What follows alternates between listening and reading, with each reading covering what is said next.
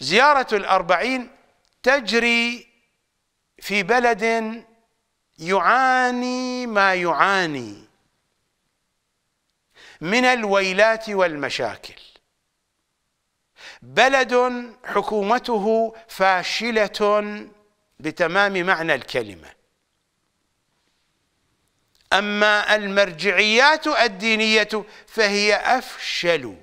وافشل وافشل من حكومته. إنما كانت حكومة هذا البلد فاشلة لأنها تنتمي إلى مرجعيات فاشلة بتمام معنى الكلمة. أحزاب دينية فاشلة وفاسدة ولصوصية إلى أبعد الحدود. المرجعيات لا تريد هذه الزيارة. أتحدث عن المرجعيات الدينية. أنا لا أحدثكم بالذي يضحكون به عليكم. أنا أحدثكم من الكواليس. وكذلك الأحزاب الشيعية الدينية. هذا الكلام أحفظه منذ بداية الثمانينات.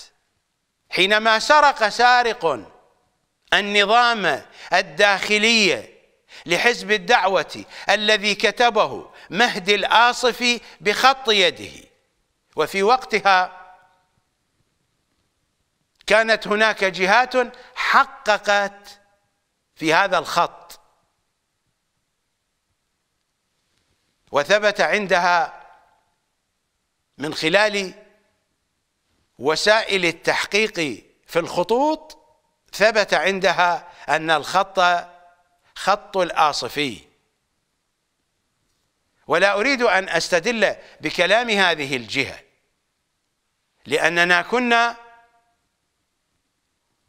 عارفين بأن هذه الأوراق سرقت من حقيبته من حقيبة الآصفي.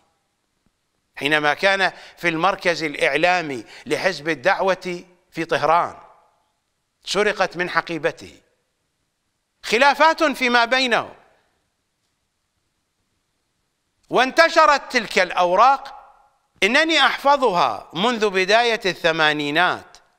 هذا الكلام يعود إلى السنة الحادية والثمانين. الثانية والثمانين. يجب محاربة ما يسمى بالشعائر الحسينية التي أقحمتها فينا عصور الردة والتخلف وحق الحسين.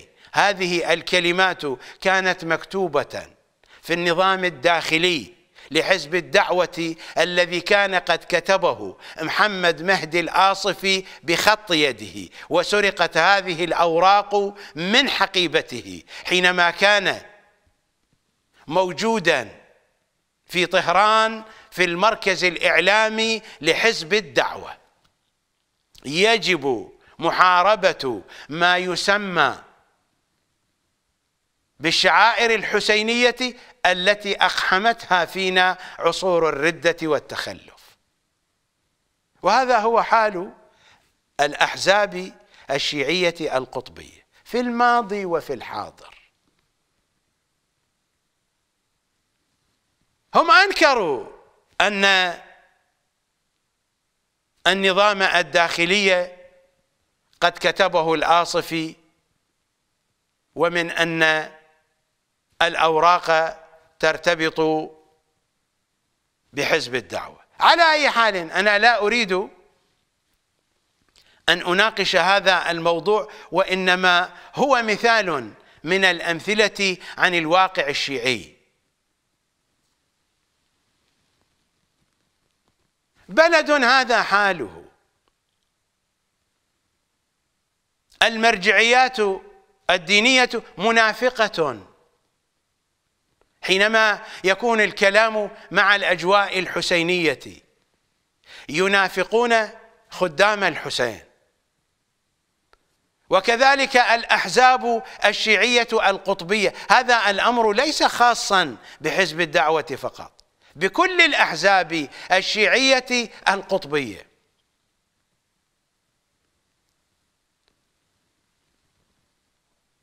الأجواء القاسية درجات حرارة لا تحتمل. لا توجد خدمات من قبل الحكومة الفاشلة في بغداد بل هناك المنغصات والمنغصات الكثيرة. الكلام يطول.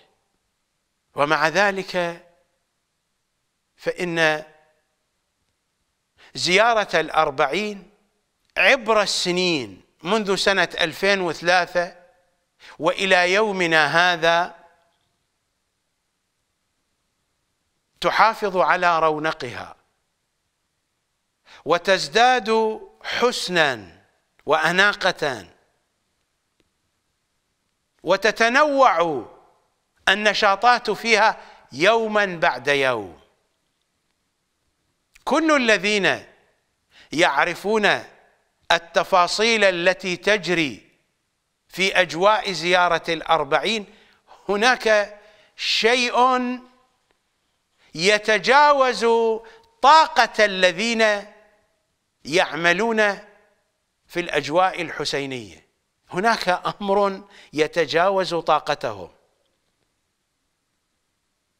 حينما يكون الكلام بهذا الاتجاه فإن العقول والقلوب تتجه إلى إمام زمانها.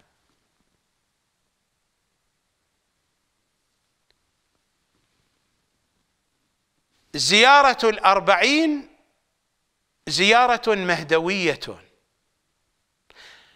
قرأت عليكم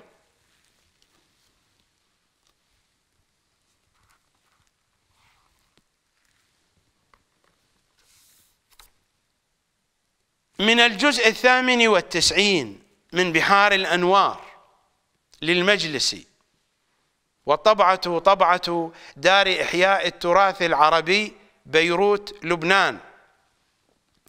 صفحة 114 إنه الحديث السادس والثلاثون عن الرضا عن آبائه عن إمامنا السجادي صلوات الله عليهم. كأني بالقصور وقد شيدت حول قبر الحسين وكأني بالأسواق قد حفت حول قبره. فلا تذهب الأيام والليالي حتى يسار إليه من الآفاق. وذلك عند انقطاع ملك بني مروان. لو كان سقوط النظام البعثي سقوطا سياسيا فقط. فلماذا حدثت زيارة الأربعين لكانت تجري في أجواء العراقيين فقط. ولكانت تجري مثل ما كانت تجري أيام البعثيين ولكن بنحو أكثر. بنحو أكثر نسبياً. الذي حدث جنون جنون الذي حدث جنون ولا زال هذا الجنون يتفاقم. جنون يتجاوز طاقة كل الذين يعملون في الخدمة الحسينية. مدينة كربلاء نحن نعرفها مدينة صغيرة. خدماتها محدودة. إلى هذه اللحظة لا توجد فيها المرافق الصحية. إلى هذه اللحظة التي تتناسب مع آلاف من الزوار. لا توجد المرافق الصحية التي تتناسب مع آلاف من الزوار. فما هو الحل مع هذه الملايين؟ الجميع الجميع لا يعانون من مشكلة. الجميع يزورون الجميع يأكلون ويأكلون أنواع الطعام ويأكلون الأطعمة الفاخرة. ويأكلون أشهى الحلويات ويشربون أفضل الأشربة. الجميع ينامون الجميع يستحمون. كربلاء مدينة صغيرة نحن نعرفها. الشوارع محدودة الطرقات ضيقة. الساحات صغيرة لا توجد ساحات كبيرة في كربلاء. حتى دائرة الحرمين دائرة ضيقة لا توجد فيها مساحات واسعة. الجميع يزورون الجميع يأكلون الجميع مرتاحون. هذا أمر يتجاوز الطاقة البشرية حتى إذا افترضت أن الحكومة مخلصة تقدم أفضل الخدمات لزوار الأربعين وهي لا تفعل هذا.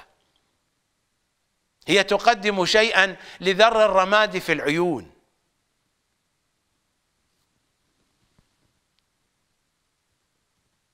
كل الذي يقدم لا يعد بشيء.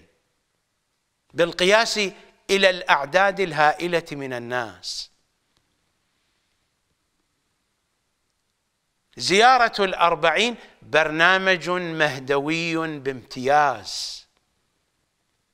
والذي يقول غير هذا خلل في عقله. أو مشكلة عنده في قلبه.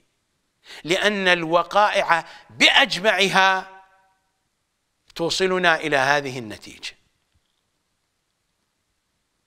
الذي يحدث في الأربعين جنون جنون بتمام معنى هذه الكلمة.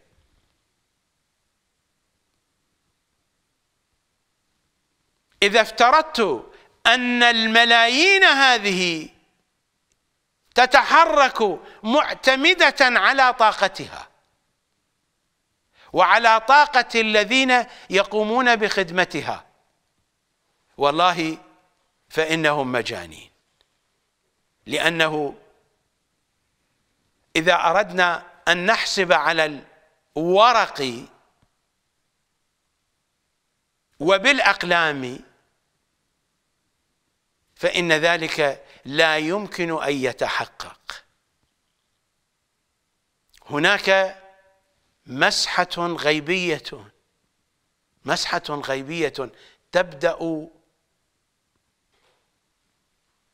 من أول خطوة إلى آخر خطوة في جميع الطرقات التي تقود إلى كربلاء.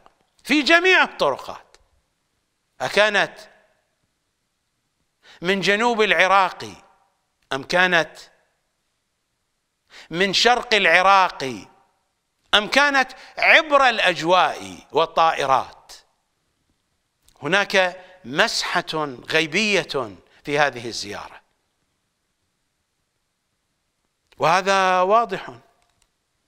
منذ زمان أمير المؤمنين وضعوا البرنامج حتى يسار إليه من الآفاق. إذا كانت القضية قضية زيارة تقوم الشيعة بها. سقط النظام البعثي يذهب شيعة العراق للزيارة ويأتي أناس من البحرين من إيران مثل ما كان يجري في سابق الأيام. تنصب بعض المواكب بعض الهيئات وينتهي الأمر. وستكون الزيارة ما بين النجف وكربلاء. جنون هذا الذي يجري جنون. هذا الجنون لن يستقيم إلا بمسحة غيبية. ومن الذي يستطيع أن يمسح هذا الجنون بمسحة غيبية غير إمام زماننا؟ ولذا فإن زيارة الأربعين مهدوية بامتياز. بدأ بعض الخلل ينتشر شيئا فشيئا فيها لن يؤثر عليها لكننا نخاف أن يتعاظم هذا الخلل. إذا ما تعاظم هذا الخلل ولم يبادر الحسينيون الغيارى لأن يقفوا ناصرين لبرنامج إمامهم فإن الإمام سيسحب يده. وهذه القضية جرت وجرت كثيرا في التاريخ الشيعي. عبر زمان الغيبة الأولى وعبر زمان الغيبة الثانية التي نعيش أيامها الطويلة.